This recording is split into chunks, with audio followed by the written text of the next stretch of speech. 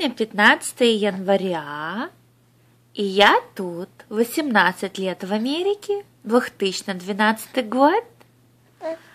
И у нас девочка есть, Мишел. Да? Кто мог подумать, что через 18 лет у меня будут двое деток? И Бенечка, и Мишел. А теперь, Мишел, скажи, мама, мама. Est-ce que j'ai maman? Maman. Est-ce que j'ai maman? Maman, maman, maman. Non, non, non, non, non. Non, non, non, non, non.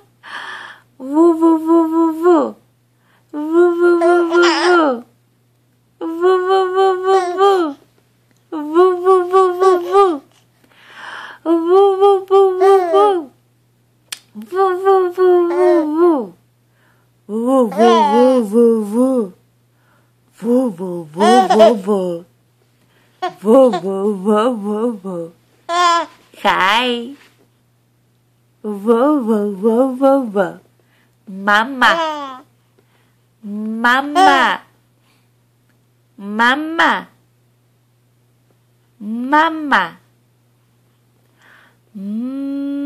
mama mama Mama, mama, mama. Mama, mama, mama. Mama, mama, mama. Mama. Michelle. Hi. Hi, Michelle. Что? Скажи bye bye. Bye bye.